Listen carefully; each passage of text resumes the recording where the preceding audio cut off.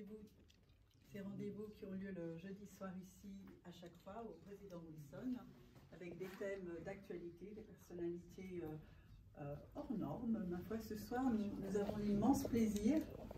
Je vous laisse vous installer. On attend encore quelques amis. Apparemment, il y a un peu de circulation, mais on va quand même commencer. Euh, ce soir, nous avons le grand plaisir d'accueillir Claude Montbré. C'est le patron de Palexpo. Vous savez, ce magnifique outil que, dont Genève s'est doté il y a quelques années et euh, qui est un peu peut-être en ce moment euh, à l'arrêt, mais pas pour longtemps. Et pour nous parler de, de Palexpo avant, maintenant et pour le futur, euh, je vous demande une ovation pour Claude Membré.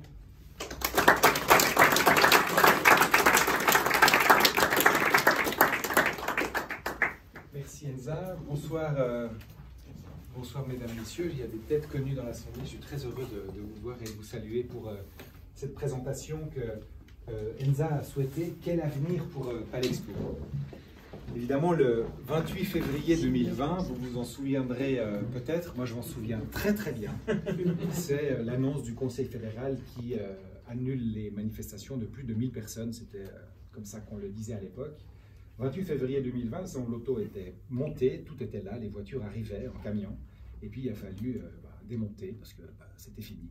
Et les équipes euh, de montage partaient, les gens avaient peur, tout le monde avait peur d'ailleurs. Hein. Nous aussi, on ne savait pas très bien ce qui nous arrivait. Est-ce qu'on allait, ce virus allait euh, tous nous mettre par terre ou pas? Mais indépendamment de cela, ça a stoppé complètement notre activité. Et puis, évidemment, il a fallu d'abord prendre le choc, ensuite il a fallu essayer de s'adapter à tout cela, il a fallu mettre en place le chômage, les, les, toutes sortes d'annulations, de, reports de dates, etc. Et puis, euh, il a fallu bah, évidemment attendre que, la situation se normalise, situation qui s'est normalisée, souvenez-vous, à peu près euh, l'été dernier, plus ou moins, avec euh, un, petit mini calendrier qu'on a pu faire en 2021. Et puis, à nouveau, quelques problèmes à la fin de l'année. Souvenez-vous, c'est Omicron qui arrive. Et puis, maintenant, les choses ont l'air de se stabiliser à nouveau et nous espérons pouvoir repartir. Euh, repartir, ça signifiera repartir, bien évidemment, mais aussi différemment. Et c'est toute la difficulté finalement qu'est la nôtre.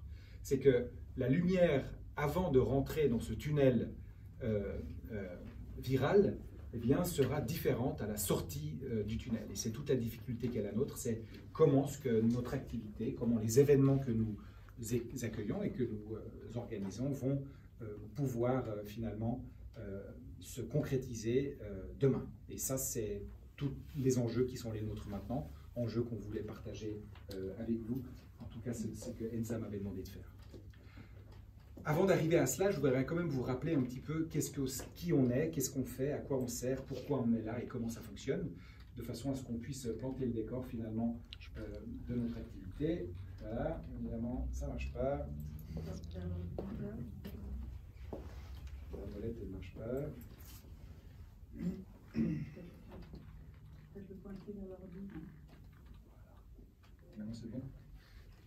Voilà, en fait, la foire exposition vient de loin. Ça vient des anciens, des Grecs. On dit que le premier centre d'exposition est né euh, en Judée, d'ailleurs, euh, il y a extrêmement longtemps, c'est pas très compliqué. C'était des endroits où on commerçait. Ces endroits, évidemment, on a continué à commercer euh, au Moyen Âge. C'était principalement autour des, églises, autour des couvents. Euh, que les gens de la campagne venaient vendre leurs produits euh, auprès de, des gens des villes qui venaient, qui venaient les acheter. Après, évidemment, arrive, et c'est important à bien comprendre ça, parce que c'est la base de notre métier, le métier de la foire-exposition moderne change avec la révolution industrielle. La révolution industrielle, alors on vend toujours des produits, mais on vend également des services avec le temps, et la révolution industrielle induit la création d'associations professionnelles. Alors, elles existaient avant, souvenez-vous les fameuses Zunft, comme on dit en allemand, hein, les abbayes, comme on dit dans le canton de Vaud, les corporations, il y en a certaines qui existent encore, mais donc ça existait déjà avant. Mais avec la révolution industrielle, eh bien, on accroît finalement la dynamique industrielle partout en Europe, en Amérique du Nord euh, également, un peu après. Et puis, on voit arriver des industries qui se fédèrent autour d'associations professionnelles. Ces industries se fédèrent, elles, elles grandissent, elles se, elles se, concrétisent, ces associations professionnelles prennent beaucoup d'ampleur avec le temps, et on arrive à la fin du 19e à la foire exposition moderne, contrairement à ce qu'on pouvait imaginer dans l'Antiquité ou au Moyen Âge, foire-exposition moderne avec les fameuses Mustermesse, hein, les foires aux échantillons. On dit qu'une des premières était à Leipzig, mais à Bâle, par exemple, c'est la première en Suisse, en 1896. Et euh, on, découvre ainsi le monde des salons qui existent encore toujours maintenant, à peu près à cette époque, avec les foires aux échantillons. Évidemment, les choses euh, euh, se, complexifient avec la Première Guerre mondiale, avec la Deuxième Guerre mondiale, mais l'industrie en Europe, en Amérique du Nord, continue à se développer. Les associations professionnelles sont toujours importantes et puis permettent de fédérer des tissus industriels par thème. Auparavant, les Mustermesse, tout était mélangé. Il y avait autant des animaux que des produits, euh, des tables, des chaises, euh, d'électricité, des matériaux de construction, enfin tout et n'importe quoi. Et puis après, ça se spécialise avec le temps. On a le salon de la construction, le salon de l'automobile, le salon euh, du meuble, le salon des habillements, le salon de la lunette, etc., etc., etc. Donc ça se spécialise avec le temps. En Europe, en Amérique du Nord, ces deux parties du monde se fédèrent de la même façon. En Suisse, je vous ai parlé de Bâle, eh bien, retour à Genève, en 1905, premier salon de l'automobile. Il y avait en 1905 sept constructeurs automobiles à Genève. Il n'y en a plus depuis 1934, donc ça fait longtemps qu'il n'y en a plus. Mais indépendamment de cela, le premier salon de l'automobile est né en 1905. Donc si vous voulez, la foire moderne, les foires modernes à Genève sont nées en 1905. À cette époque-là, il n'y avait pas de centre d'exposition. Le centre d'exposition de Genève a été construit en 1926, là où il y a maintenant l'université et euh, Palexpo a été construit en 1981. Ce qu'il est très important de comprendre, c'est que au début, il y a un salon et après, les collectivités publiques construisent des sites d'exposition pour héberger ces salons. Alors que dans les pays émergents, j'y reviendrai, c'est exactement l'inverse. Donc, les foires expositions grandissent, les collectivités publiques partout en Europe, en Amérique du Nord, voient que finalement ces salons attirent quantité de gens, ces gens qui dorment dans les hôtels, qui prennent les taxis, qui mangent au restaurant, qui achètent des cravates, des ondes et du chocolat, les savoir quoi, c'est ce qu'on appelle ces fameuses retombées économiques induites de l'activité des foires et salons. Il y a quantité de fournisseurs qui travaillent euh, pour euh, l'organisation de ces, de ces événements. Donc les collectivités publiques investissent massivement dans les centres d'exposition. Ici, vous avez celui de Hanovre, par exemple. Hanovre a été très longtemps le plus grand centre d'exposition du monde, avec 400 000 m2 Aujourd'hui, le plus grand centre d'exposition du monde est à Shenzhen, une ville qui est au nord d'Hong Kong, avec 500 000 m2. Donc, euh, tout ça grandit, tout ça continue. L'industrie, qu'est-ce qui se passe? Elle se délocalise dans les pays émergents. Hein, on a tous vécu ça. Ça se délocalise d'abord euh, chez nous, peut-être en Europe de l'Est, ensuite en Asie. Vous voyez ici le centre d'exposition de Shanghai, de, de 300 000 m2, pas l'expo à 100 000 m, 300 000 m2 à Shanghai, et il y a quatre centres d'exposition de cette taille à Shanghai. Pourquoi? Parce qu'on délocalise l'industrie, l'Europe, l'Amérique du Nord, délocalise l'industrie dans les pays émergents. Donc, bien évidemment, il faut que ces salons s'organisent avec l'industrie euh, existante, mais naissante dans ces pays-là. Donc, les pays émergents commencent à construire des sites d'exposition. Je vous mentionnais Shenzhen, le dernier construit.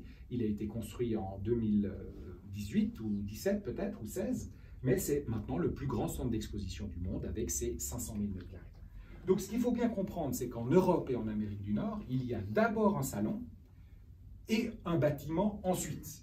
C'est pour ça que de nombreux bâtiments, par exemple, que vous connaissez peut-être, sont sous un système pavillonnaire. Ça veut dire qu'il y a d'abord un petit centre d'exposition, puis après il est trop petit parce que le salon grandit, donc on construit un autre pavillon, un autre pavillon, un autre pavillon. Par exemple, la porte de Versailles à Paris, que vous connaissez certainement. À Genève, c'est pareil. On a d'abord construit le palais des expositions au centre-ville, puis après c'était trop petit, donc on l'a construit euh, en dehors de ville.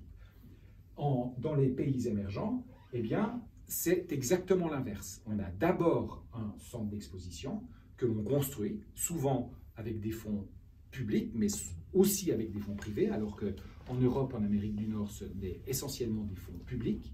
Et ensuite, on y met des événements, parce que ces événements sont induits par la désindustrialisation de l'Europe et de l'Amérique du Nord pour une réindustrialisation dans les pays émergents.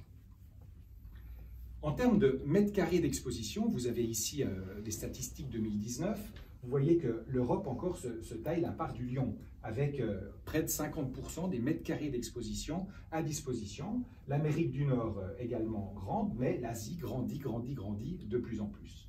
En termes de taille, bien évidemment, euh, les Américains sont les plus grands parce que bah, c'est un pays. Par contre, si vous regardez ensuite tous les Européens qui se trouvent derrière, eh bien, il y a quantité de, finalement, de mètres carrés à disposition, ce qui représentait en 2019, avant la pandémie, environ 50% du marché. Maintenant, ces pourcentages vont effectivement évoluer avec le temps. En Suisse, nous avons en gros 500 000 m2 d'exposition qui se euh, répartissent à peu près de la, manière suivante. À Bâle, qui est de loin le plus grand, avec 150 000 m2. Genève, nous avons 106 000 m puis les autres sites d'exposition que vous avez ici, avec évidemment une différence de langue euh, en Suisse euh, que l'on a différemment ailleurs. Alors comment est-ce qu'on gère un centre d'exposition en fait hein? Je vous l'ai dit, d'une manière générale, en Europe, en Amérique du Nord, les centres d'exposition sont publics et ils sont gérés avec soit le modèle anglo-saxon, soit le modèle européen ou le modèle des pays émergents, c'est un peu différent. Si on prend le modèle européen, ce sont des bâtiments publics les gestionnaires sont soit des gestionnaires publics, soit des gestionnaires parapublics, mais c'est rare qu'ils soient totalement privés.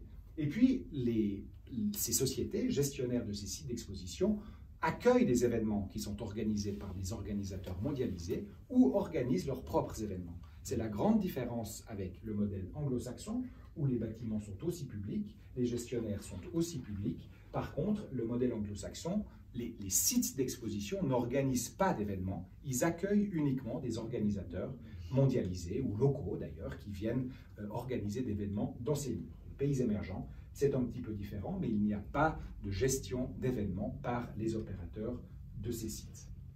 Alors qu'est-ce qu'on fait dans ces sites en fait finalement? Eh bien on fait des, salons euh, qui sont euh, appelés ici des expositions, des salons, des foires, tout ce que vous voulez. On fait du congrès ou on fait de l'événementiel à Palexpo, c'est à peu près ce qu'on fait. Ce sont nos trois types d'activités, bien qu'on soit focalisé d'abord dans le monde des salons, mais nous avons évidemment des manifestations qui sont privées ou bien qui sont professionnelles, qui s'adressent à un public professionnel, des professionnels qui s'adressent à un public professionnel, ou alors des professionnels qui s'adressent à un public euh, large. Par exemple, le salon du livre ou bien les automnales, on s'adresse au grand public, ou alors euh, le salon, euh, par exemple, que vous connaissez peut-être je ne sais pas, un congrès médical pour dire quelque chose, et bien ça s'adresse à des médecins, le grand public n'y a pas accès en principe. Le monde des salons est régi, tout comme toutes sortes d'activités industrielles, par des associations professionnelles. La première, la plus importante, c'est UFI, l'Union des foires internationales, qui est née à Paris en 1926, hein, souvenez-vous, révolution industrielle, spécialisation thématique, euh, développement des salons en Europe. L'Amérique du Nord a aussi une association aussi ancienne, mais évidemment, nous sommes moins, nous, euh, euh, impliqués avec l'Amérique du Nord, ou une autre association, l'EMECA, qui, a été créée un peu plus tard, qui, est, euh, qui fédère les sites d'exposition de plus de 100 000 m2 uniquement en Europe. Vous aurez compris que l'Europe se taille encore aujourd'hui la part du lion dans le monde des salons. Alors, l'histoire de, Genève avec les salons, eh bien, c'est l'histoire du salon de l'automobile. Hein. je vous l'ai mentionné tout à l'heure. Ici, vous voyez la Villa Sarrazin, qui se situe derrière Palexpo, hein, au Grand Saconnet. Et vous voyez ici le tarmac de l'aéroport, on est en 1905. Donc ça ressemblait à ça finalement en 1905, quand le premier salon de l'auto s'est euh, organisé. Quelques dates clés en ce qui concerne euh, Palexpo, donc le premier salon de l'automobile, la construction de l'ancien palais des expositions en 1926, l'État achète la campagne Sarrazin en 1968, les Saconésiennes et les Saconésiens ont d'ailleurs dû euh, voter, même le, canton même a dû voter, ça s'est même joué à très peu de voix. Il a failli, on a failli refuser finalement la construction de Palexpo sur le site là où il est maintenant, mais finalement ça s'est fait. La construction a, commencé un peu, après, et puis Palexpo a ouvert en 1981 avec uniquement trois halles, tout d'abord. Ensuite, évidemment, le salon grandit, le salon de l'auto grandit. Eh bien, il y a une quatrième halle qui se construit en 1985. Ensuite, le salon grandit toujours, la halle 7, elle se construit de l'autre côté de l'autoroute. En 2013, le télécom grandit, le salon de l'auto grandit, donc il faut agrandir évidemment le bâtiment. Et cette halle 7 qui se termine en 2013 et Palexpo a maintenant 106 000 m2, évidemment des places de réunion dans les salles de réunion, dans le centre de congrès. Un deuxième centre de congrès a été mis sur pied parce qu'il faut évidemment davantage de salles de, sous-commission, évidemment des restaurants, du parking, euh, des infirmeries, etc., etc. Et un parc de 10 hectares devant la maison. Et on est très fiers d'avoir ce parc de 10 hectares devant la maison qui assure un écrin un peu vert finalement dans notre activité. Cet écrin un petit peu vert est parfois... Euh, différents dans d'autres villes européennes et on est, nous, très fiers de pouvoir compter sur ce parc devant la maison. Palexpo a été, au début, c'était des fondations, hein, fondations, les jeunes aiment bien les fondations, donc il y avait une myriade, il y avait quatre fondations qui détenaient les bâtiments de Palexpo, tout ça a été fusionné en 2008, création d'une société anonyme en 2008 de droit privé, mais qui est financée à 80% par, par l'État, le, le terrain a été rendu à l'État, auparavant il appartenait aux fondations, et l'État donc est propriétaire du terrain, mais Palexpo SA est propriétaire du bâtiment. Il y a au 31 décembre 2021 quatre actionnaires. Le canton de Genève a 79, quelque chose. Euh, donc il a toujours la majorité finalement, et le canton de Genève n'a pas du tout l'intention de, euh, de, laisser tomber finalement euh, l'activité de Palexpo, en tout cas pas à ce jour. Pourquoi? Parce que notre mission, c'est une mission aussi de service public et nous en sommes fiers d'être les, dépositaires. Nous avons une mission de service public. en attirant des événements, nous dégageons de l'argent sur l'économie régionale. Nous faisons rayonner le nom de Genève en Suisse et dans le monde. Nous sommes aussi au service de la population. Nous devons avoir des événements pour le grand public de façon à ce que tout le monde s'identifie à Palexpo. Et enfin, nous sommes euh, en autonomie financière. Palexpo ne reçoit pas de subventions on doit se débrouiller tout seul. On veut clairement, dans nos activités, être un agent important dans l'organisation d'événements pour que toutes celles et ceux qui ont des idées puissent transformer ces idées et créer différents types d'événements correspondant à la mission qui est assignée à Palexpo, qui est dans ses statuts d'ailleurs, euh, pour le bien de la collectivité en général. Les valeurs sont des valeurs d'une entreprise de service, nous sommes une entreprise de service, donc, nous, accueillons des clients, nous les traitons, nous devons être flexibles, si possible avoir euh, une bonne dose d'innovation, et dans ces périodes un peu complexes, on devra toujours l'avoir, et puis assurer les prestations de services avec le maximum de professionnalisme euh, possible. Alors, quels sont les métiers finalement qu'on fait chez nous? Nous organisons des événements, je vous l'ai dit, hein, par exemple le Salon du Livre ou les Automnales, mais il y en a d'autres, le Salon des Inventions. Euh, nous accueillons des événements qui sont organisés par d'autres, euh, on aura l'occasion peut-être de parler du salon de l'auto euh, auparavant. Auparavant, Palexpo, jusqu'en 2020, a organisé le salon de l'auto pour le compte de son propriétaire. Et depuis euh, le 1er janvier 2021, son propriétaire, qui est une fondation, souhaite organiser le salon lui-même. Donc Palexpo n'est plus impliqué dans l'organisation du salon de l'auto. Donc nous louons des surfaces au salon de l'auto. Enfin, on espère pouvoir louer des surfaces au salon de l'auto. Nous vendons des services à tout ce petit monde, hein, que ce soit les organisateurs, les exposants, les visiteurs, que ce soit de l'électricité, du rigging, du sanitaire, la restauration, l'hébergement, euh, quantité de choses, la pose de tapis, du nettoyage, allez savoir quoi. Et puis nous nous occupons évidemment de la gestion du bâtiment, le facility management, le maintien finalement du bâtiment, euh, rénové tant, que faire se peut, de façon à toujours avoir un, bâtiment qui est euh, idoine pour celles et ceux qui en ont besoin. Nous travaillons sur trois marchés principalement. Nous travaillons tout d'abord sur le marché local, avec, euh, on va dire, le Grand Genève, avec euh, des événements, par exemple, les automnales. On travaille sur un marché suprarégional. On a la chance d'avoir euh, un bassin de population assez important, avec la Suisse romande et la France voisine. Les langues, évidemment, jouent un rôle important dans différents types d'activités. Un salon du livre va se faire en français, ça ne va pas se faire en allemand ni en, ni en turc. Puis après, évidemment, nous travaillons sur le marché européen principalement. L'activité de Palexpo est principalement sur ces trois marchés. Oui, il y a des Américains et des Chinois qui arrivent de temps en temps, mais le gros de l'activité est sur le marché européen ou le marché local. Je vous l'ai mentionné tout à l'heure, nous sommes principalement axés sur le monde des expositions, le monde des salons, le monde des foires, mais nous avons aussi des congrès, nous avons euh, de l'événementiel. Hein. Souvenez-vous, le concours hippique, par exemple, qu'on a pu accueillir au mois de décembre l'année dernière, ou euh, la Lever Cup de tennis, par exemple, qu'on a accueilli en 2019. Et euh, donc, tous ces organisateurs, finalement, sont fédérés dans ces trois types d'activités principalement. On a plusieurs types d'expositions qui, sont qui sont chez nous. Tout d'abord, les expositions professionnelles. Je vous ai mentionné la révolution industrielle, les associations professionnelles. Derrière chaque salon professionnel, il y a toujours une association. Derrière chaque salon grand public, un peu moins forte, mais il y en a quand même. Derrière les congrès médicaux, évidemment, il y a des associations euh, professionnelles également. Mais c'est important de comprendre que derrière un salon, il y a toujours une association professionnelle. Cette association, en général, elle vit des salons. Elle vit évidemment des, cotisations de ses membres, mais également, elle vit euh, des bénéfices dégagés par les, par les salons. Par exemple, Edana est une association professionnelle euh, basé en Belgique, qui est propriétaire du salon Index, qui est le salon non tissé que Palexpo organise tous les trois ans. vous avez NBAA, qui est l'association américaine euh, de l'aviation privée, et euh, cette association organise chaque année le salon eBase euh, à Genève.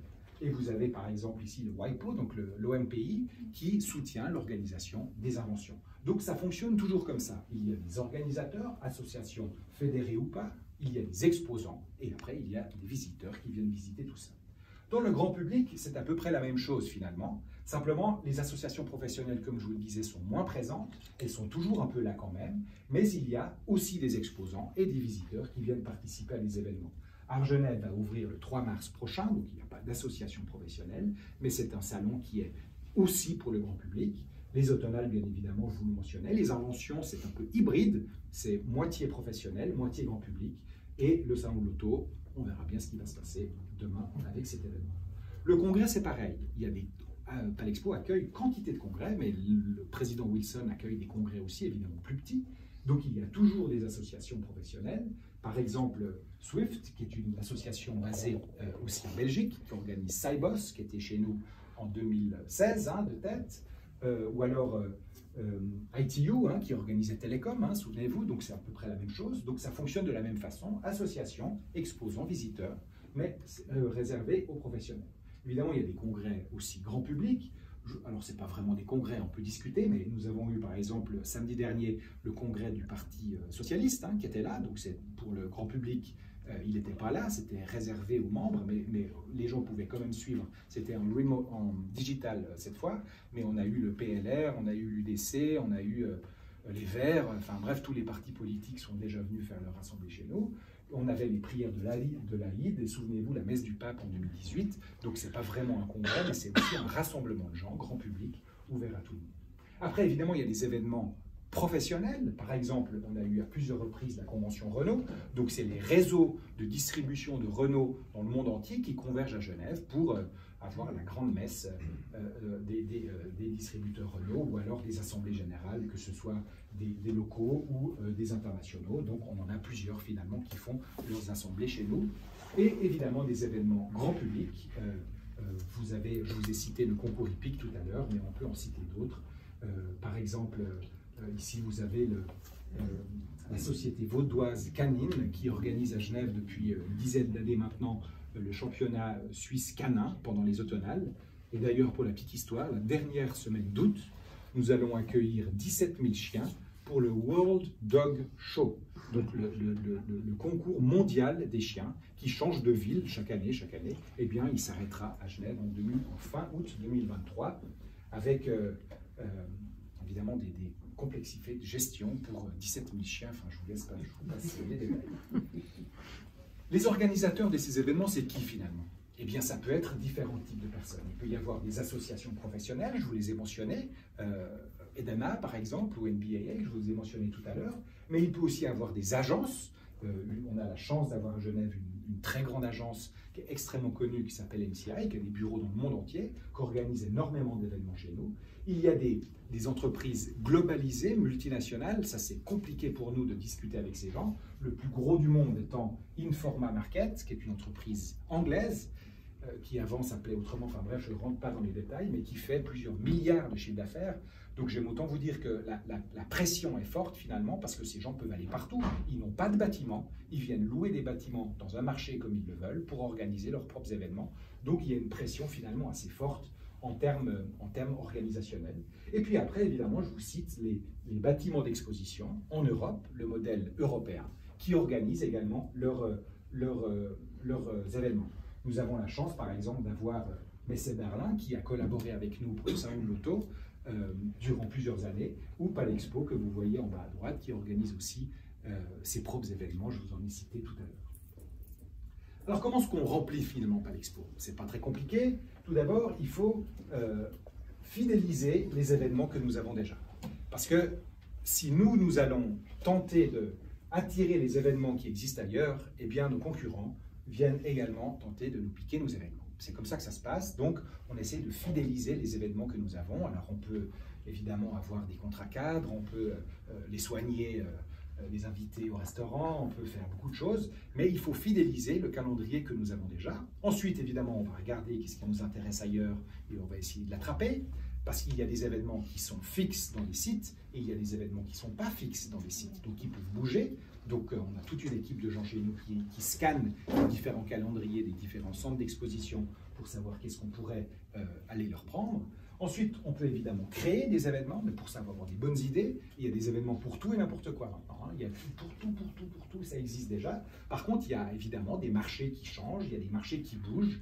Le monde automobile, par exemple, est sous pression, donc il bouge. Est-ce que les salons d'antan seront toujours là demain? Moi, j'aurais tendance à penser que non, mais, mais, le monde automobile va quand même vouloir se présenter. Donc, il y a peut-être des opportunités de marché, donc à créer des événements différents, à intégrer euh, d'autres types d'activités. Par exemple, on a lancé le royaume du web hein, pour les YouTubers il y a euh, quelques années. C'est quelque chose de nouveau qui, qui n'existait pas. Eh bien, il y a quantité de choses qui n'existent pas, qu'on lance. Cette année, par exemple, on lance un salon sur euh, le, le, packaging pharmaceutique. Hein. Vous savez que avec le temps, on a les principes actifs en principe pharmaceutiques sont faits en Europe. Ensuite, on envoie les principes actifs en Asie. le packaging est fait en Asie, puis ça revient sous forme de boîte que l'on vend dans nos pharmacies ici. Donc il y a toute une série de relocalisation de cette activité qui va se faire. Et puis, on, avec, un, avec un partenaire euh, européen, nous lançons un salon qui va s'appeler Connecting Pharma. Comment est-ce qu'on peut finalement relocaliser toute une série d'activités de, euh, de packaging pharmaceutique en Europe? Et puis après, évidemment, on décline à l'international nos activités. Je vous l'ai mentionné, si les organisateurs ont délocalisé, enfin, si l'industrie s'est délocalisée dans les pays émergents, certains organisateurs se sont délocalisés dans les pays émergents, eh bien nous, on doit aussi nous délocaliser dans les pays émergents de façon à pouvoir conserver notre force sur le marché. Alors, par exemple, nous organisons Art Monte Carlo, donc Monaco, ce n'est pas vraiment un pays émergent, mais euh, n'empêche qu'avec un événement sur l'art contemporain à Monaco, eh bien, nous avons aussi un pont à Monaco avec un public différent. Nous organisons un salon des inventions au Moyen-Orient, en Asie, en Amérique, euh, nous lançons un salon des inventions en Russie cette année. Pourquoi? Parce qu'on va au devant des inventions et de façon à pouvoir fédérer ces inventions qui vont revenir au salon Maman par la suite. Donc on va renforcer, si vous voulez, le salon des inventions de Genève en organisant des spin-offs un peu partout dans le monde. On n'a rien inventé, les organisateurs globalisés de salons le font déjà. Alors les tendances du marché, elles sont où? Donc là, on arrive évidemment sur, euh, sur le Palexpo de demain, le Palexpo d'après, comment est-ce que les choses se mettront en place. Bien évidemment, il faut qu'on fasse attention à la concentration d'organisateurs. Je vous le mentionnais tout à l'heure. Hein. Informa, par exemple, a racheté UBM il y a euh, trois ans. Euh, donc c'était deux organisateurs qui avaient chacun un portefeuille, donc on avait nous la possibilité de faire des offres à deux. Maintenant, il ben, faut faire des offres plus qu'à un. Donc euh, évidemment, c'est la difficulté que l'on trouve partout dans, dans l'économie en général. Donc cette concentration pour nous est un peu complexe parce qu'il y a moins d'acteurs finalement avec lesquels nous pouvons tenter d'entrer en négociation. Évidemment, la, globalisation s'est faite avec cette délocalisation industrielle. Euh, cette globalisation a, été euh, galopante euh, pour le bien ou pas le bien de, l'humanité. Ça, c'est une autre histoire, mais n'empêche qu'on a, nous, on a dû s'adapter à ça. Et aujourd'hui, on aurait tendance à penser que cette globalisation va peut-être revenir en arrière. Hein. La, lumière au bout du tunnel ne sera pas la même. J'aurais tendance à penser que les événements globaux vont, vont vraisemblablement pas disparaître, mais seront sous pression. Alors il y aura des exceptions, bien évidemment, et on va pouvoir assister vraisemblablement à une résurgence de nouveaux types d'événements qui vont pouvoir se refaire dans un marché davantage continentalisé et moins globalisé, ce qui est une chance pour Genève parce que nous sommes extrêmement bien placés. Évidemment, la digitalisation de l'activité, on le voit tous les jours, tout le monde a son téléphone, euh, tout le monde regarde 36 fois par, par heure euh, qu'est-ce qui se passe sur son téléphone. Ben, évidemment, l'activité se digitalise. Euh, est-ce qu'un salon de demain sera toujours en réel ou est-ce qu'une partie de ce salon sera sur les réseaux en même temps? On aurait eu tendance à penser cela en 2020, à l'automne 2020, et aujourd'hui, une année après, on aurait tendance à penser que non, finalement, que les acteurs euh, euh, globalisés euh, organise des événements en physique, les gens se rencontrent comme nous le faisons ce soir, nous sommes très heureux de le faire. Par contre, de suivre en même temps la même présentation sur les réseaux en admettant que vous soyez maintenant en direct, est-ce que les gens vont le faire? On aurait eu tendance à penser au début que oui, et maintenant plutôt que non. Euh, par contre, ces événements digitaux vont suivre les événements physiques. Donc, il faudra bien évidemment s'intégrer dans cette digitalisation. Puis, bien évidemment, l'évolution, il faut la suivre notamment la durabilité. Nous sommes très actifs à Palexpo depuis longtemps sur la durabilité. Je suis convaincu que ça va payer un jour. Aujourd'hui, ça ne paye pas malheureusement parce que ça coûte cette durabilité. Hein, le, pollueur-payeur, euh, l'électricité, si vous commandez beaucoup d'électricité, monsieur, sur votre stand, eh bien, vous allez payer plus cher que monsieur qui en commande moins parce que, euh, parce que évidemment, vous allez en consommer davantage. Donc, on essaye de jouer cette, cette carte de pollueur-payeur.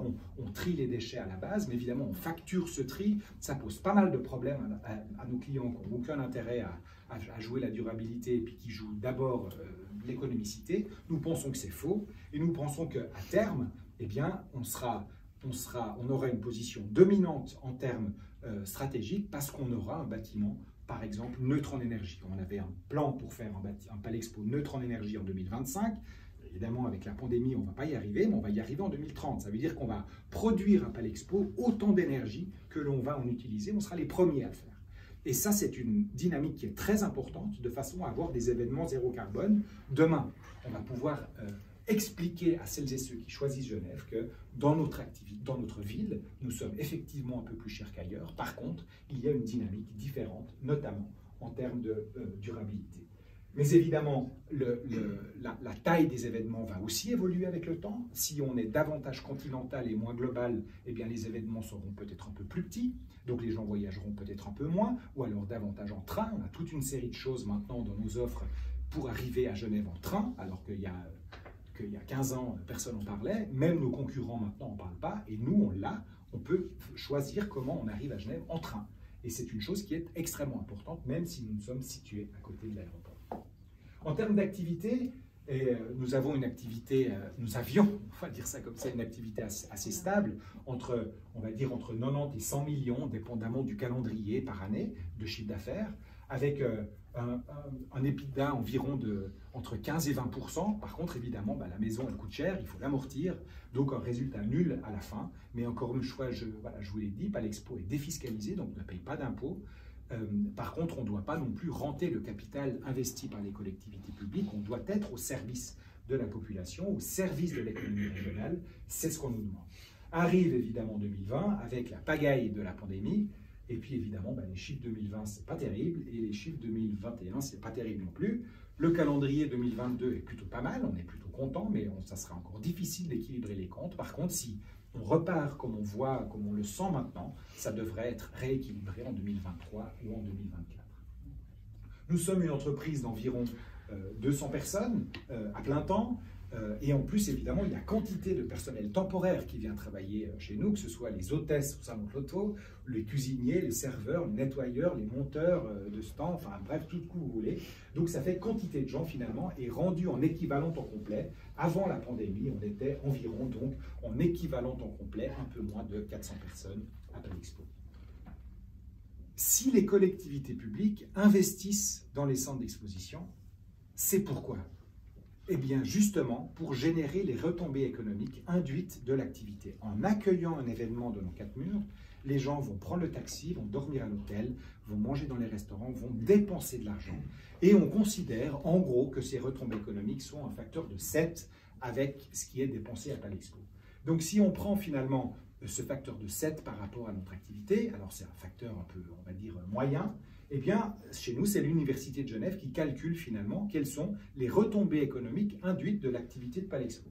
Donc, en clair, il y a les retombées directes, donc ça veut dire que la chambre d'hôtel louée ce soir pendant le salon de la chaussette, eh bien c'est 250 francs, c'est une retombée directe. Par contre, après, évidemment, il y a les retombées indirectes. Quelles sont-elles? Eh bien, le fournisseur de, de, au petit déjeuner, ben, il a vendu le croissant qui sera vendu avec la chambre, etc. après, le fournisseur de la farine du croissant, le fournisseur du sel du croissant, etc., c'est ce qu'on appelle les retombées indirectes. Donc ça est très compliqué, je ne sais pas comment ça marche, c'est pas très important, mais à la fin de la fin de la fin, on parle des effets économiques induits. Donc l'expo génère environ 600 millions d'effets économiques induits. Alors vous pouvez me démonter ce, chiffre euh, comme vous voulez, ce sont des estimations. Mais c'est l'Université de Genève qui considère que en, moyenne, Palexpo génère 600 millions dans l'économie régionale. Ça veut dire quoi en fait? Ça veut dire que si Palexpo n'était pas là, eh bien ces 600 millions seraient dépensés ailleurs, ils ne seraient pas dépensés dans notre République. Après, il y a tout un calcul qui est fait aussi par l'université avec les retombées fiscales. Parce qu'évidemment, quand une entreprise, un hôtel vend une chambre ou un, boulanger un croissant, eh il va payer des impôts. Donc, on calcule tout ça, ne me demandez pas comment ça marche, mais on calcule finalement que les retombées fiscales pour le canton de Genève sont évidemment de fonction des euh, effets économiques induits et représentent environ entre 35 et 45 millions euh, par année. Donc si vous voulez, c'est le retour sur investissement que l'activité de Palexpo génère euh, pour l'argent que le canton a mis en 1968 et en 78 quand il a construit la maison. Donc c'est en gros 40 millions par année qui rentrent dans les caisses du canton, de par les retombées économiques. Donc c'est comme ça que ça fonctionne. Dans les autres villes européennes, dans les autres villes d'Amérique du Nord, évidemment, vu que les bâtiments sont publics, ben, c'est la même chose. Ils font ces mêmes calculs euh, de façon à pouvoir prouver finalement l'activité qui, est euh, qui est la leur. Alors, j'arrive au terme de ma, de ma présentation en termes de, de conclusion. Donc, bien évidemment, qu'est-ce qu'on doit faire? On doit se focaliser toujours sur l'infrastructure. On doit avoir une infrastructure qui est agréable, qui est euh, euh, accessible euh, pour les personnes handicapées, par exemple, qui est facilement accessible en train, en voiture, en avion, en bus, en tram. Hein. On est très content que le tram fonctionne, que les bus fonctionnent. Le bus s'arrête devant la porte. Pour nous, c'est très important. Il faut toujours rénover, donc on a rénové beaucoup, on a transformé totalement le centre de congrès. J'ai rejoint Palexpo en 2004. En 2004, il y avait de la moquette orange et marron sur les murs encore, il a fallu évidemment l'arracher, il a fallu rénover. Euh, c'est beaucoup d'argent parce que les, surfaces sont très grandes. Donc il faut toujours avoir, un, si vous voulez, un outil de travail, à l'instar d'un hôtel, qui, soit, qui corresponde à ce que les clients souhaitent. Évidemment qu'il faut suivre les tendances de marché. Aujourd'hui, ces tendances dans la globalisation ou la relocalisation, il faut suivre les tendances en termes de, digitalisation, bien évidemment. Comment est-ce qu'on va digitaliser le salon des inventions entre deux événements? Est-ce qu'on va euh, organiser des salons des inventions euh, en ligne entre deux événements ou pas? Est-ce qu'on va faire des conférences en ligne, par exemple? Eh bien, tout ça doit, doit être intégré finalement. Évidemment, les données clients, hein, on est tous des euh, clients potentiels de celles et ceux qui veulent capter nos données.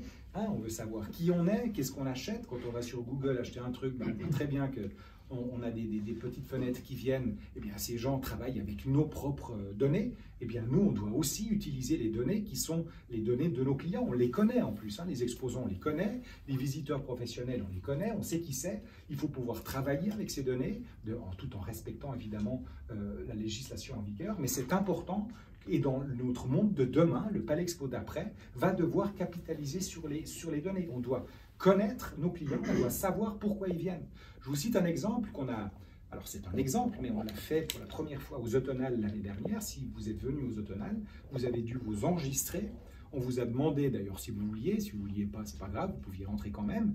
Mais si vous vouliez jouer le jeu, ben vous vous enregistrez, vous dites ben voilà, moi j'aime les canapés, j'aime le vin, le vélo, et puis euh, j'aime, euh, je sais pas quoi, euh, euh, les croissants au jambon, et puis ben, voilà, vous dites, euh, voilà, je coche ça, et puis quand vous arrivez, eh bien, on vous dit, ben, allez au stand B607, parce qu'il y a des vélos, allez euh, déguster du vin au stand 609, parce qu'il y a 58 producteurs, etc., etc. Donc, on arrive à communiquer avec nos, avec nos visiteurs, et demain, on va devoir le faire, on va devoir induire finalement une envie avec nos visiteurs, avec cette digitalisation. Mais pour qu'on y arrive, il faut qu'on ait les données, il faut qu'on puisse collecter ces données.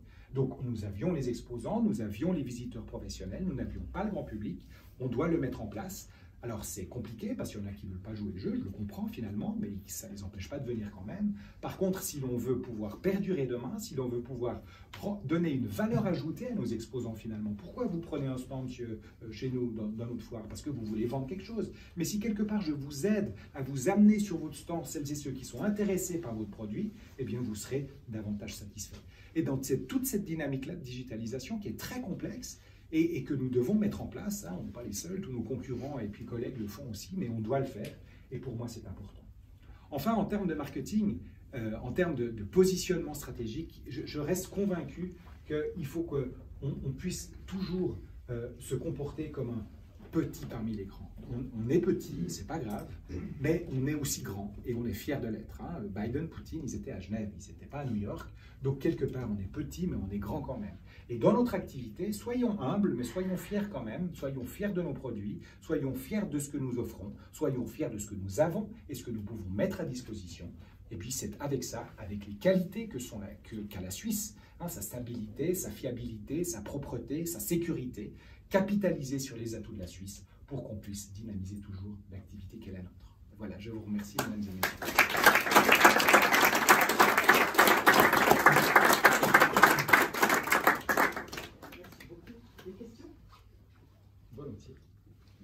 Des questions, merci de dire qui vous êtes et de poser votre question. Voilà, Magali Ursini, euh, que M. Lambres connaît bien, puisque j'étais dans le conseil d'administration de l'Expo même avant la création de la Société Anonyme. Euh, J'ai plus trop suivi les affaires, donc euh, j'aimerais que vous nous rappeliez qui sont les actionnaires minoritaires actuellement. Vous nous dites 79% pour l'État de Genève. Et puis, donc, on a vu les comptes des trois dernières années. Euh, je pense que vous ne distribuez pas de dividendes, mais quasiment 60 millions de pertes pour les deux dernières années. Est-ce qu'il y avait les réserves suffisantes? Enfin, ça se passe bien du point de vue bilan. Vous connaissez mes important. petits, Ma- mes, euh, petits dadas. c'est c'est compté. Donc, voilà. Non, non, mais je vous explique volontiers. En- on est en 68. Je ne sais pas combien l'État a acheté la campagne Sarrazin. Je, je- je n'ai pas ces chiffres-là. Par contre, en 78, quand il a fallu capitaliser évidemment les fondations, il y a eu un capital de dotation, puis après il y a eu des prêts du canton pour la fondation du Palais dans laquelle vous étiez. Ensuite, en 2000, euh, 2000 peut-être, pour la fondation Alcis, dans laquelle vous étiez aussi. Donc, il y a eu des capitales de dotation et il y a eu des prêts. Il y a eu des prêts du canton, mais il y a aussi eu des prêts de l'Office du tourisme. Et souvenez-vous, à cette époque-là, on a modifié la loi du tourisme. C'était assez smart à l'époque, finalement, parce qu'on a dit, mais finalement, les, les hôteliers, principalement, qui captent les taxes de séjour de celles et ceux qui utilisent, euh, qui, vivent grâce aux activités de Palexpo, ces fameux taxes de séjour devraient être capitalisées dans un, dans un pot, finalement, et puis ce pot devrait financer un bout de la construction de l'Alcis. Ça, ça s'est passé comme ça. Je fais l'histoire courte. Donc, l'Office du tourisme est lié, c'est pour ça que j'explique cette histoire, parce qu'il est lié à la. Donc, il y a l'État, ensuite, euh, largement minoritaire, c'est le Salon de l'Auto, qui avait un prêt, qui a été transformé en capital action, l'Office du tourisme, qui avait un prêt, qui a été transformé en capital action, et puis, euh, il y a un tout petit, tout, tout, tout petit bout, c'est l'affaire, mais c'est minuscule. Et euh, voilà pour les, euh, pour, pour les actionnaires. En termes bilanciels, donc nous avons un capital suite à la fusion des fondations. L'État a transformé certains prêts en capital action, l'Office du tourisme également, euh, le Salon de l'auto et l'affaire. Euh, donc ils ont transformé donc un capital d'environ 200, euh, 260 millions à peu près, hein, capital action, donc des fonds propres importants, avec des prêts évidemment après que l'on a renégocié environ 100 millions de prêts, un peu moins, 90 millions de prêts euh, euh, à la création de Palexpo en 2008. Donc il y avait auparavant 150 millions de prêts, donc on a pu descendre à 90 millions de prêts. Ensuite on a réinvesti 180 millions pour rénover la maison durant les 15 dernières années et on arrive maintenant à une situation bilancielle toujours avec ces 250 millions de fonds propres voilà à peu près. Résultat reporté, il n'y en a pas, vous avez vu, vu qu'on on amortit la maison de façon à pouvoir réinvestir demain. Mais donc, on avait suffisamment de fonds propres pour ab- absorber ces prêts. En termes de cash, maintenant, bien évidemment, le- nous avions des réserves de cash, mais on n'en avait pas suffisamment. Donc, le Grand Conseil a voté, euh, souvenez-vous, à la fin de l'année dernière, un crédit, donc un prêt de Palexpo, de, pour Palexpo de 30 millions, et on peut tirer sur ce prêt si on en a besoin. Donc, on en a, on en a aujourd'hui pas besoin totalement. On a tiré 10 millions maintenant pour avoir une réserve de cash. Alors, au niveau bilanciel, on est tranquille parce qu'on a suffisamment de fonds propres. Et en termes de cash, euh, on a une ligne de crédit, si vous voulez, à l'État qu'il faudra rembourser un beau matin. Merci beaucoup. D'autres questions Il y a des mains s'il vous plaît. Oui, Enrico Zeffi. Claude, tu, penses revenir plus ou moins au niveau de 2019 à- dans quelle année? Parce que euh, les chiffres européens parlent de 2025 environ. Et quels sont les salons que tu arrives ou que vous allez pouvoir garder? Qu'il y a certainement une immense concurrence qui va se lever ces années des, des villes. Ah, c'est une excellente question, Nico. C'est une excellente question. Donc, évidemment, la boule de cristal, je ne l'ai pas, je ne peux pas dire. Par contre, j'aimerais répondre un peu sur un biais différent. Je vous ai expliqué, et c'est très important de comprendre, il y a d'abord un salon, ensuite un bâtiment. À Genève, il y a d'abord le salon de l'auto, ensuite on construit un bâtiment autour du salon de l'auto, après arrive Télécom en, en 74, évidemment Télécom grandit, donc aussi Palexpo grandit avec Télécom, c'est normal. Mais le salon maman, donc le salon de l'auto à Genève, représentait avant la pandémie en gros un tiers du chiffre d'affaires. Le salon de l'auto, à mon avis, comme vous l'avez vécu durant ces dernières années, on ne le verra plus. Donc il sera plus comme ça. Alors j'espère qu'il y aura un salon de l'auto, mais en tout cas, comme on a vécu par le passé, ça sera plus du tout comme ça. Alors, comment comment Donc- ça pourrait être? Attends, je, je- je viens là-dessus peut-être après, hein, d'accord? Juste pour, pour répondre à Enrico. Donc, nos, nos 100 millions à peu près de chiffre d'affaires, on va jamais pouvoir combler un tiers euh, avec euh, une nouvelle activité. Mais j'insiste là-dessus, partout en Europe, c'est la même chose. Aux États-Unis, c'est la même chose. Un exemple que vous connaissez bien, c'est Bâle, avec Baselworld. Baselworld, donc les montres étaient un bal pour plus de 50% du chiffre d'affaires. Donc pour eux, c'est terrible parce qu'ils l'ont perdu mm. bien avant la pandémie, rien à voir avec la pandémie. Le palais de Beaulieu à Lausanne, ils ont perdu le comptoir suisse bien avant la pandémie, rien à voir avec la pandémie. Donc finalement, tous les centres d'exposition ont un salon maman qui est important en termes, en termes de pourcentage. Et si ce salon disparaît, eh bien ça devient extrêmement compliqué. Donc je ne suis pas sûr qu'on arrive à un stade du chiffre d'affaires de 100 millions, sauf et ça, c'était la bonne nouvelle. Mais la bonne nouvelle avant pandémie, encore une fois, que nous avons obtenue en janvier 2020, c'est que Rolex souhaite rejoindre le SIHH à Genève.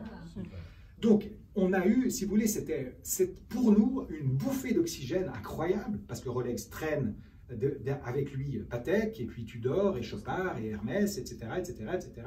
Donc finalement, en 2022, maintenant, on est en train de monter le salon d'horlogerie avec des marques supplémentaires, et, et quelles marques? Et puis Bâle n'existe plus. Donc, dans cette cagade, dans cette déconfiture finalement, eh bien, nous avons une, une excellente nouvelle. Donc normalement, le salon horloger de référence qui devrait se faire dans le monde sera à Genève.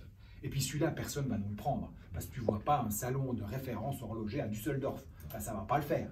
Donc, donc, ça, donc ça va rester à Genève. Donc dans cette difficulté, nous avons la chance d'avoir pouvoir pu récupérer les horlogers. Alors maintenant, est-ce que le salon horloger va évoluer? Évidemment. Dans quel sens il va évoluer? Je ne sais pas, ce n'est pas nous qui l'organisons, mais il va évoluer. Par contre, s'il doit rester un salon horloger dans le monde, il sera ici, berceau de l'horlogerie. Donc pour nous, c'est une excellente nouvelle. Alors, je ne pense pas que nous allons récupérer le salon de l'auto et ses 30 millions euh, euh, de sitôt. Par contre, euh, grâce à cette dynamique horlogère à Genève, eh bien, je pense qu'il n'est pas impossible que nous puissions rattraper une bonne partie de ce retard. À côté de cela, je vous rappelle qu'on a le salon des sous-traitants horlogers en juin. Donc, c'est les gars qui font les, vis et les aiguilles et voilà, voilà tout ça. Toute la, toute la sous-traitance horlogère, un salon qui s'appelle EPAJ, c'est près de 800 exposants. Donc, c'est des, entreprises locales, principalement de, du Jura, de Neuchâtel, de Franche-Comté, de la vallée de l'Arve, de Genève, évidemment. Donc, c'est un très beau salon. Il est là monde horloger. Nous avons un salon sur les pierres et diamants qui s'appelle GEM. Il est là également, il existe. Euh, c'est aussi, euh, euh, il prend toute la Alcette, hein, donc c'est quand même un salon, un salon important.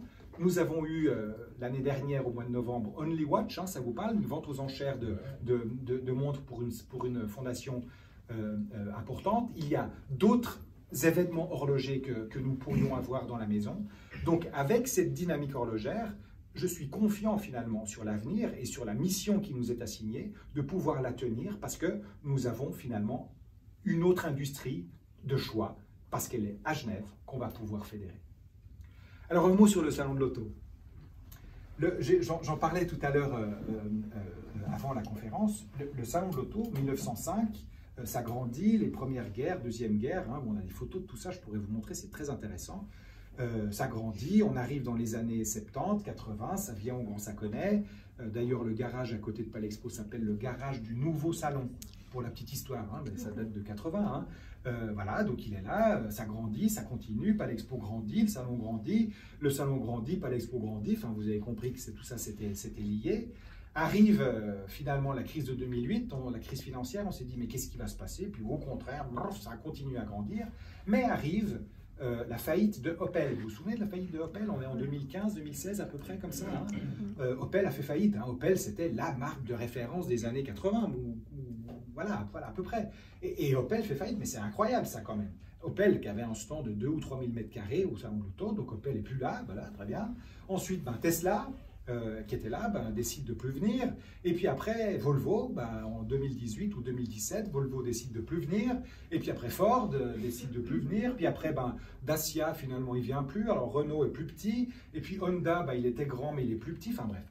Le salon de l'auto 2020, il était déjà un tiers plus petit qu'il ne l'était en 2015 ou 16. Avant la pandémie, rien à voir avec la pandémie. Et pourquoi? Parce qu'encore une fois, un salon est le reflet d'un monde industriel. Je vous l'ai mentionné tout à l'heure avec les associations professionnelles.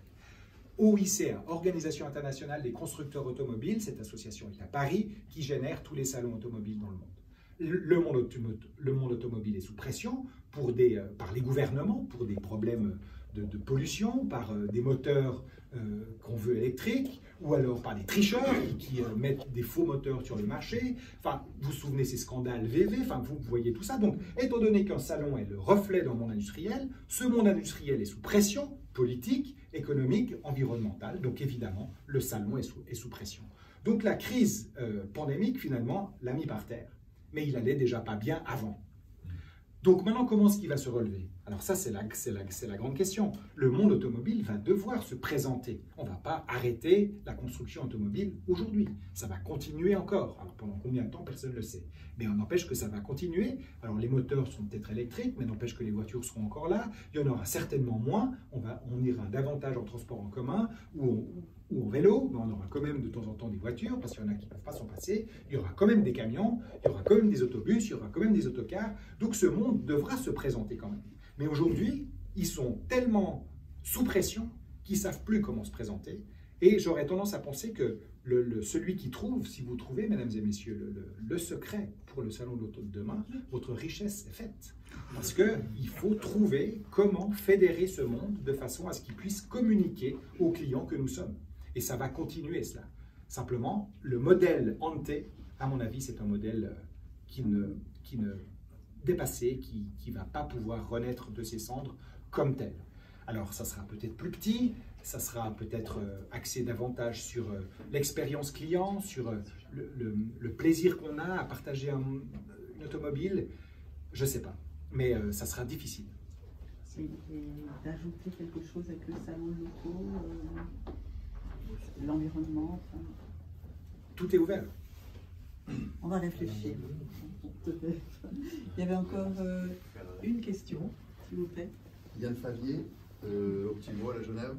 Euh, je voulais savoir qu'en est-il des, salons de l'automobile euh, des autres pays comme Paris Est-ce qu'ils ont subi la même crise Est-ce qu'ils se sont tous arrêtés Ou est-ce que certains continuent d'évoluer de, Ou est-ce que c'est le fait que Genève, comme vous l'avez dit tout à l'heure, soit plus cher que les autres pays, dissuade les, constructeurs de venir à Genève.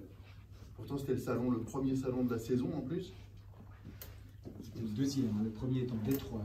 Je ne sais pas la cherté de Genève. Je, franchement, Genève est chère, on le sait, mais je ne pense pas que ce soit ça. Le, salon de Paris, il, était en déclin avant Genève et il était plus petit que Genève. Euh, Francfort, euh, le dernier était en 2000, je sais plus quoi, 18 ou 19. Euh, il était petit, il était plus petit, il était beaucoup plus grand que Genève et il est devenu beaucoup plus petit. Il s'est arrêté à Francfort et il s'est fait à Munich en 2021. Euh, je, je m'y suis rendu. Mais il y avait davantage de vélos que de voitures. Donc, si vous voulez, le, ils, se cherchent, mais au moins ils ont fait quelque chose. Au moins ils ont fait quelque chose, ils sont axés sur la mobilité. Vous pouviez utiliser une voiture électrique du centre d'expo de Munich qui est très loin de la ville pour après rouler en ville, euh, que ce soit en voiture, en vélo, en moto, tout ce que vous voulez. Donc c'était la mobilité électrique. Euh, au moins ils ont fait quelque chose, mais c'était petit. Il y avait cinq marques automobiles au salon de Munich. De, il y en avait cinq. Il y avait VV, euh, Mercedes, Hyundai, Renault et puis euh, une marque chinoise dont j'ai oublié le nom. Il y avait cinq marques. Donc ce n'était pas un salon automobile, c'était un salon de la mobilité et ils ont essayé de faire quelque chose. Mais c'était, c'était, on va dire ça comme ça. Euh, mais Paris aurait, normalement devrait avoir lieu en septembre cette année, en septembre 2022. Euh, je ne suis pas sûr que le Salon de Paris voit le jour. Alors s'il est aidé par les pouvoirs publics, parce qu'on veut absolument mettre en exergue l'industrie automobile française, ce qui est aussi une bonne idée finalement, hein, de façon à aider l'industrie, bien peut-être qu'il verra le jour, mais il sera en tout cas pas comme il l'était par le passé, en tout cas pas. Euh, aux États-Unis, c'est pareil, Détroit donc a, disparu. Euh, c'est maintenant Los Angeles qui fait un salon et New York, mais ce sont des salons grand public, ce ne sont pas les marques qui vont là-bas, ce sont les distributeurs. Évidemment, l'exception, c'est en Chine. Il y, a, à peu près, je crois, 180 salons de l'auto en Chine. Donc évidemment, bah, les Chinois, ils achètent des voitures. Voilà, donc euh, ceux-là, ils fonctionnent très bien. Shanghai et Pékin sont en alternance, une année sur l'autre, et ils fonctionnent extrêmement bien, ils sont très forts. Tokyo avait un salon de l'auto, mais ils ont dû euh, euh, l'annuler parce qu'il y a les Jeux Olympiques qui utilisent le site d'exposition pour, pour les Jeux Olympiques, donc c'est une autre affaire. donc maintenant, je, Tokyo, je ne suis pas sûr comment est-ce qu'ils arriveront se, se, se relever. Reflet d'un monde industriel fait le salon. Le salon, si le monde industriel ne fonctionne pas, le salon ne fonctionnera pas. Donc il faut le prendre d'un angle différent. Depuis quelques années, les marques automobiles vont au CES de Las Vegas. Pourquoi ils vont au CES de Las Vegas? Ils vont pour deux raisons principales. Un, parce qu'une marque automobile, c'est aussi une entreprise technologique. Et puis deux, euh, ils, recherchent des applications technologiques à intégrer dans le monde automobile. Formidable. Alors, euh, nous, on donne la baguette magique aux conférenciers, on la donne. En, guise de conclusion, tu en fais quoi?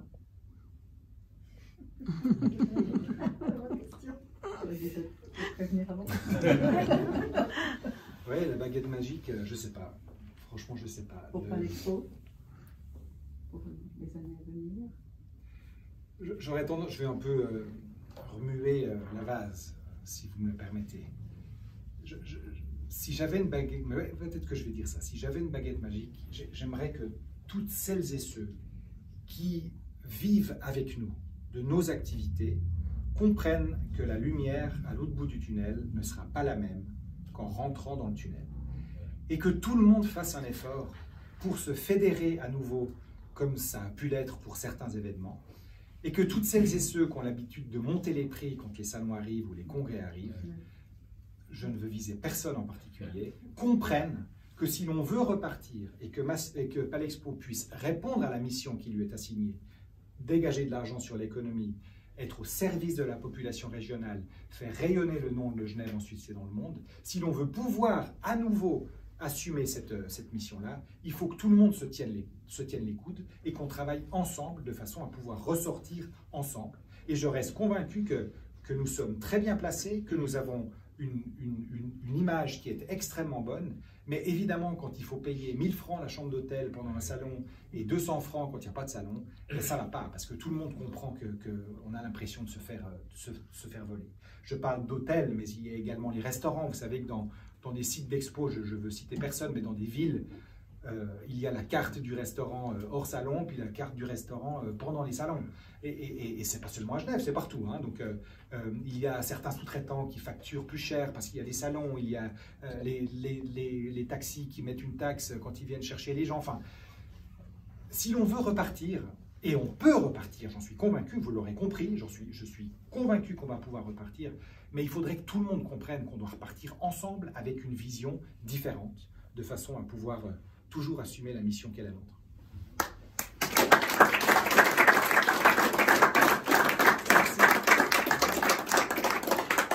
C'est enregistré, ça sera véhiculé. voilà. Alors avant d'aller sur euh, deux pitchs de membres qui vont parler en cinq minutes de leur passion, il se trouve que tu as des, exposants. Euh, on s'est téléphoné ce matin et je leur donne une minute pour qu'ils nous présentent leur salon chez toi. Euh, c'est Audrey et Abdel, qu'on peut applaudir.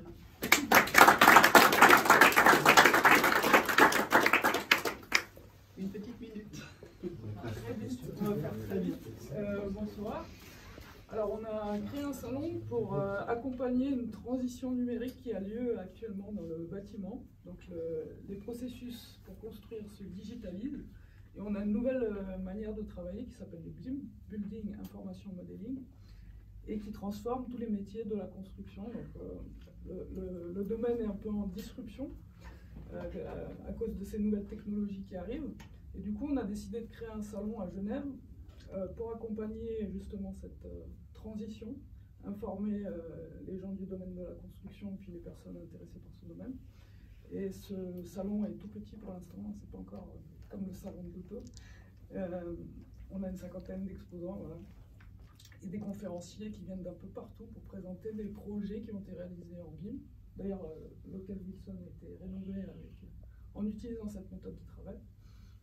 Et du coup, on, prenait deux minutes, merci Elsa de nous avoir invités, pour pour vous dire que les membres euh, du, cercle des dirigeants auront un code pour euh, pouvoir obtenir des places euh, avec un tarif préférentiel et venir donc visiter et, comprendre cette nouvelle méthode de travail qui, arrive. Donc l'État de Genève est en train de aussi passer au BIM et puis ils ont développé un, nouveau format maintenant pour déposer un permis de construire avec ces maquettes de bâtiments.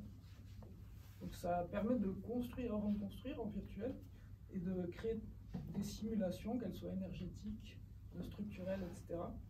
Et on espère comme ça un peu industrialiser le domaine de la construction et puis euh, pouvoir construire des bâtiments de, meilleure qualité. Encore la date C'est le 10 mars, donc au centre des congrès de Palexpo. Heureusement qu'on l'a fait Palexpo. et c'est toute la journée. Oui, c'est toute la journée avec des conférences et puis des exposants pour voir les différents logiciels, les différentes entreprises de Genève qui travaillent en ville. Et vous trouverez toutes les informations sur notre nouveau site qui en principe est lancé demain, euh, lecde.club. Et on, va, vous soutenir et soutenir l'expo et tout. Merci, bravo.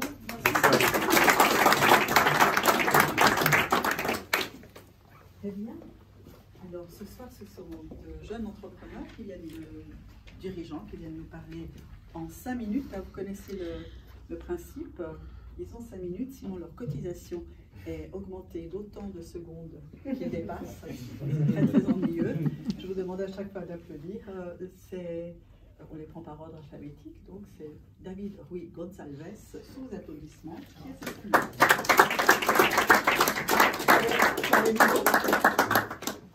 préparé le PowerPoint. Je suis sur son ordinateur.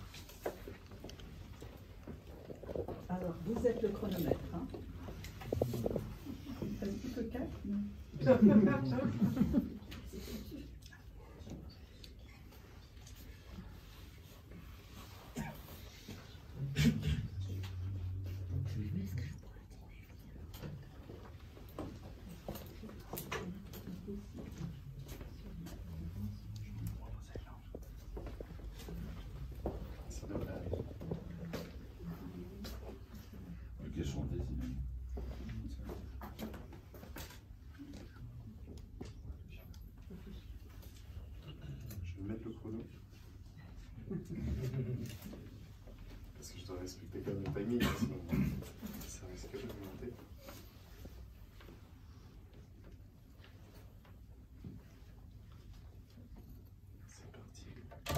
Bah, bonjour à tous. Merci euh, de, m'accorder ces, cinq petites minutes pour me présenter à vous. Je vais vous présenter ma société, qui est David Security. Présenter un peu rapidement à vous, euh, je m'appelle Louis David Gonçalves Gomez, j'ai 26 ans. Euh, j'ai dans ma vie fait un stage dans la police durant quelques jours, je me suis beaucoup intéressé. Et ensuite j'ai compris que c'était c'était beaucoup dans la technologie que ça allait se passer dans le futur. Donc du coup, j'ai fait un travail de recherche qui était les technologies de la police genevoise vues par la population. Suite à cela, j'ai travaillé chez Securitas, Protectas, où j'ai beaucoup travaillé à Palexpo, justement. Et j'ai compris aussi qu'il fallait que je monte ma propre société, parce que j'avais une vision de faire qui était assez, euh, assez sympathique. Alors je me suis dit, pourquoi pas la lancer Je suis aussi caporal à la protection civile euh, PCLAC. On a beaucoup œuvré un peu dans cet événement qui était le Covid. David Security, c'était en novembre 2019 que j'ai monté cette société. Il a son siège à Vesna. Nous sommes à peu près 10 agents aujourd'hui et euh, nous sommes en recrutement, si vous avez des gens qui sont intéressés. Mhm. Qu'est-ce que ça peut être aussi euh, la sécurité? La sécurité, c'est aussi ça. Et on aimerait euh, créer un événement avec le CDE pour une initiation aux armes, pour ceux qui ont peur peut-être un peu de ça et qui aimeraient enlever un peu cette peur. Et, verrez, c'est un sport qui est très sympathique. Donc voilà. Durant la société, du coup, j'ai été amené à travailler avec énormément de sociétés de sécurité. Euh, vu la jeunesse un peu de la société, c'était dur d'avoir directement des clients en direct. Donc un petit exemple de quelques sociétés avec qui on a déjà travaillé. Peut-être vous reconnaîtrez euh, quelques sociétés qui sont par là. Et grâce à cela, ça nous a amené à travailler avec des clients qui, euh, qui nous ont fait confiance, à qui on a œuvré. Peut-être que vous reconnaîtrez aussi euh, quelques clients euh, passés par là. C'était très sympathique.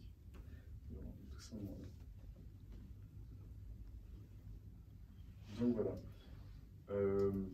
pour la suite, quel type de service est-ce qu'on fait dans la sécurité? On fait d'abord des surveillances, des interventions qui sont assez, assez simples par tous les temps, bien sûr.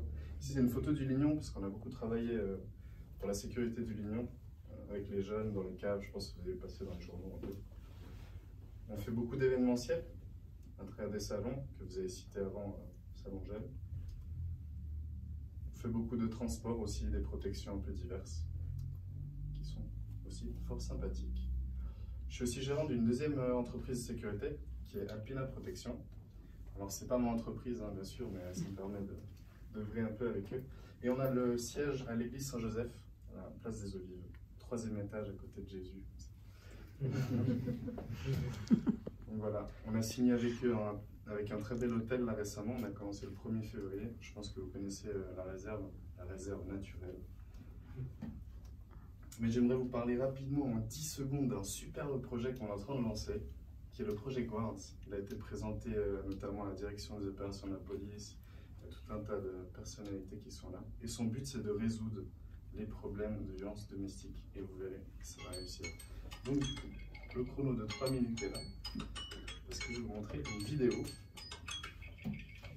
Parce que j'ai fait un livre aussi. Vous voyez ce que je veux dire? Et euh, on veut lancer un média, en fait. Euh, il y a quelqu'un qui est ici, euh, qui, a, pu œuvrer un pour cette vidéo que j'aimerais vous la montrer. On va terminer par ça.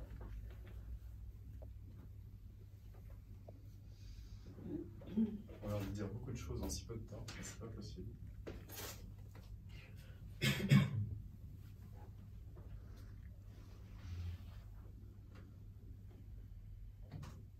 J'ai pris le coup.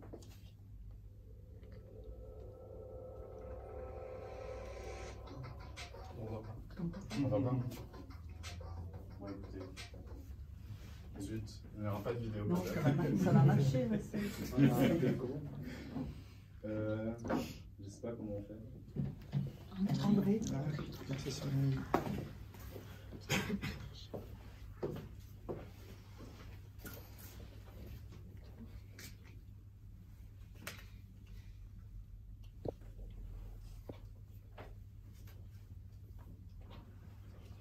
Bon, ça marche pas.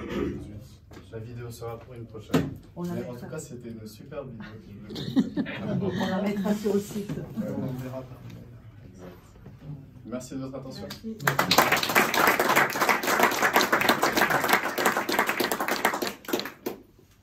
Vous pourrez la voir sur le site. C'était un bon teasing. Ça faire en attente.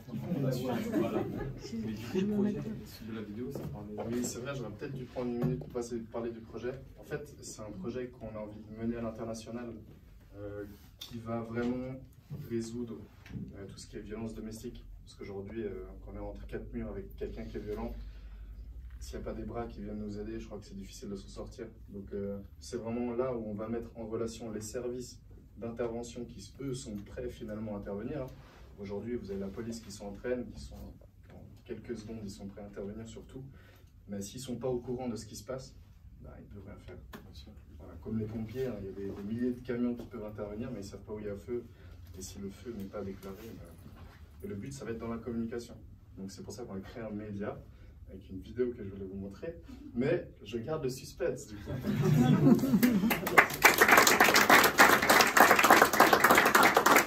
26 ans, chef d'entreprise, trois sociétés, c'est pas mal. Fabio. Merci beaucoup.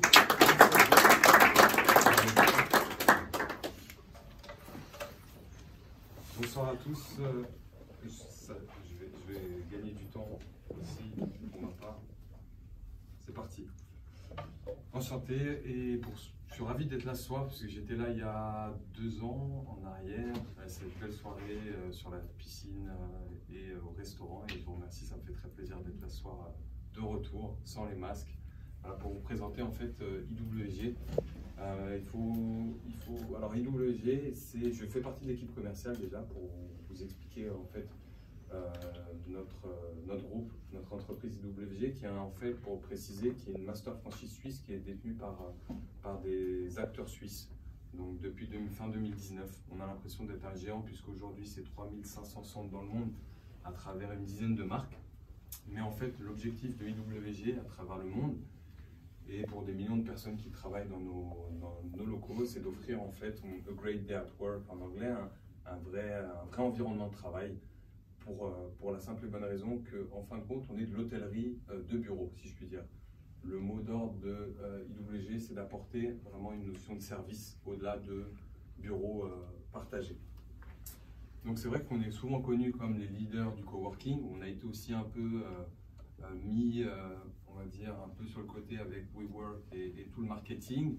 Mais il faut savoir que depuis 35 ans, avec la marque historique Regus, on existe et on a su traverser des tempêtes comme euh, la crise économique de 2008, euh, voilà, comme à l'expo, vous ne présentiez pas l'expo. Aujourd'hui, ben, le Covid, ça a amené aussi une transition chez nous. Et ça a été intéressant parce qu'à travers ces, ces, 51 centres qu'on a en Suisse et ces trois marques, Signature, Spaces et Regus, on a su accompagner nos entreprises et ça c'était important. Dans la possibilité quand même de venir travailler, savoir que pendant le Covid, beaucoup étaient en home office et on a été aussi une bouffée d'air frais pour, euh, pour tous ces acteurs et ces entreprises. Maintenant, comment on agit en fait euh, à travers ces solutions d'espace de travail Comme je disais, euh, le mot coworking est galvaudé, tout le monde l'utilise, ça a aussi des connotations qui sont des fois, qui renvoient des, des, notions de, on a plus le côté privatif, mais il faut savoir qu'aujourd'hui, au-delà de bureaux de, de, coworking d'espaces communs, on propose des bureaux privés et de plus en plus, ce qu'on voit avec le Covid, c'est que de plus en plus d'entreprises aujourd'hui nous sollicitent pour la simple et bonne raison qu'il y a une notion aujourd'hui d'avenir où on ne sait pas ce que demain sera fait. Et c'est pour ça qu'il y a des entreprises qui aujourd'hui nous font confiance.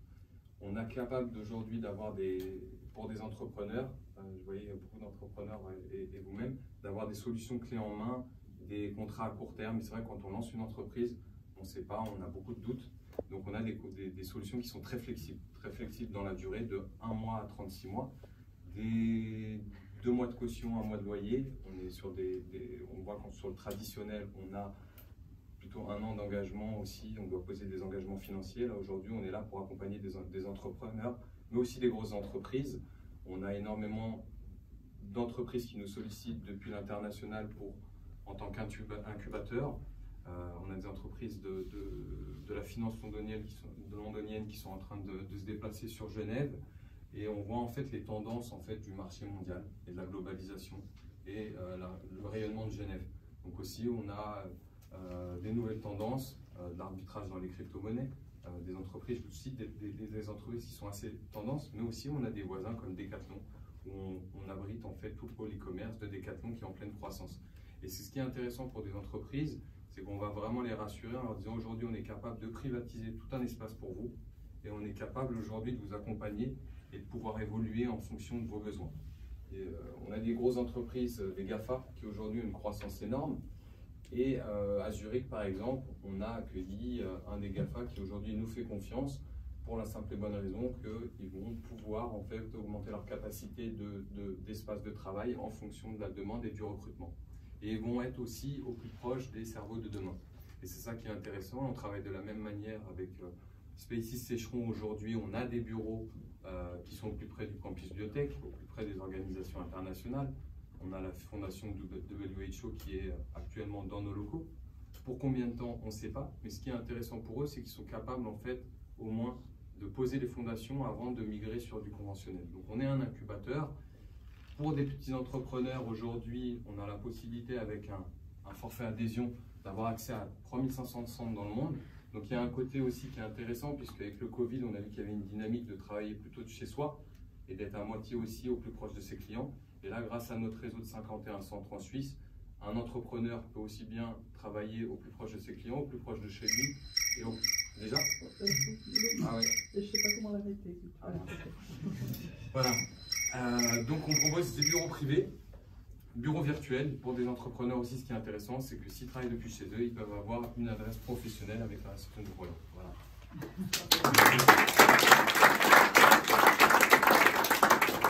5 minutes, c'est rapide. Hein Formidable. Euh, eh bien, ainsi se termine notre soirée. Je vais vous faire peut-être quelques petites annonces pour les prochains rendez-vous. Euh, peut-être. C'est là, Voilà. Alors d'abord, euh, je vous ai dit, on, sort notre nouveau site demain. Et pour le fêter, euh, on a un cadeau à, vous offrir au, monde du cercle. C'est une avant-première d'un film qui, tourne autour de l'entreprise avec deux acteurs plutôt connus et reconnus par le public, Vincent Lindon et Sandrine Kiberlin. J'ai vu un petit extrait, c'est plutôt sympa, c'est mardi.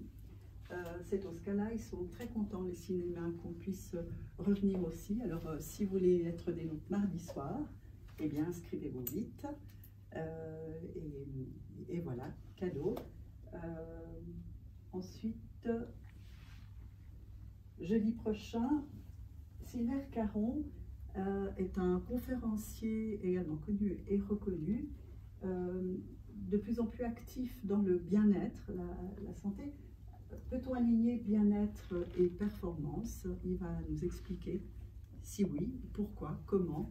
Euh, c'est euh, jeudi prochain. Ensuite, euh, le jeudi d'après, on, va rester un peu dans l'esprit, les neurosciences. Certains d'entre vous connaissent sans doute le Yuri Messen-Jachin, qui est un artiste il y a quelques années, il avait mobilisé toute la Suisse romande pour faire une année du cirque. Peut-être certains, certains d'entre vous s'en souviennent. Et euh, là, il fait des, expositions et euh, il, agit enfin euh, sur le cerveau des gens par rapport à, son œuvre, à, son art. Et le, médecin associé au, service de neurologie va venir nous expliquer pourquoi ce genre de tableau peut agir euh, sur notre cerveau. Voilà, ça risque d'être assez euh, disruptif. Et enfin, là aussi, vous connaissez euh, Patrick Delarive, qui ne le connaît pas, serial entrepreneur. Il, il, est notamment révélateur de, talent, Bastien Becker, c'est lui. Il l'a pris au berceau, si je peux ainsi dire, avec euh, et d'autres et d'autres. C'est, je crois, l'un des hommes les plus riches de Suisse. Et il vient d'écrire un livre, il vient nous en parler, il le dédicacera. Ça, c'est euh, le jeudi 3 mars déjà. Euh, voilà, entre-temps, mais on n'a pas encore, le 1er mars, nous serons à Nyon. Jeudi, euh, lundi passé, nous avons inauguré une nouvelle antenne, Pays de Gex. Enfin, vous avez tout ça dans les nouvelles, vous les apprenez comme d'habitude par cœur et on se voit très très vite. Si vous voulez être à la place de nos pitchers, eh bien vous contactez également euh, ou Carlotta, ou André, ou Nina, que je vous demande d'applaudir parce que sans eux, on n'est rien.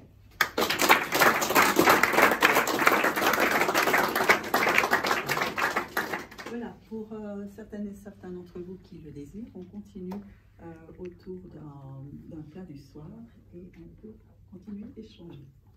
Bonne soirée, bravo à vous, merci.